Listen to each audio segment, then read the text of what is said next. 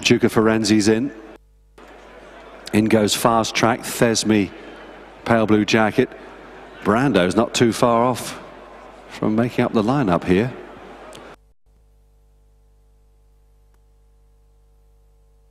Brando might well be the last one in here with the blindfold on.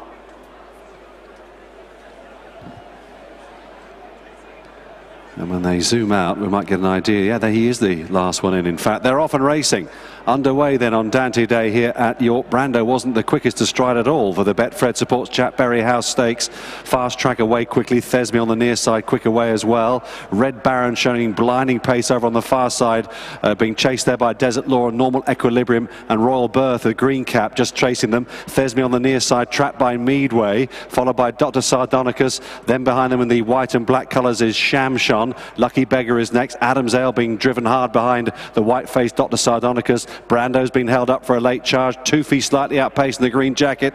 Distant Past under a bit of a drive. So too Son of Africa, an Arctic feeling who now starts to pick up. Over on the far side, Red Baron just hanging left hand into Desert Law. Down the centre, Duke of Firenze's picking up in stylish fashion and races inside the final furlong into a two-length lead. Duke of Firenze in front here as they enter the final 50 yards. It's all over. Duke of Firenze bolts up here in the opener. In second is Brando. Thesme was third, followed by Red Baron, Dr. Sardonicus, and then came Royal Birth next.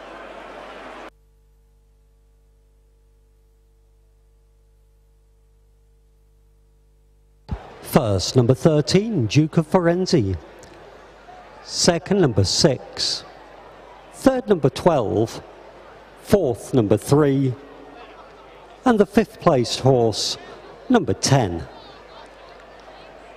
The full result of our opening race, the Betfred supports Jack Berry House Stakes.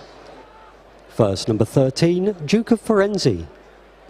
Second, number 6, Brando. Third, number 12, Thesme. Fourth, number 3, Red Baron.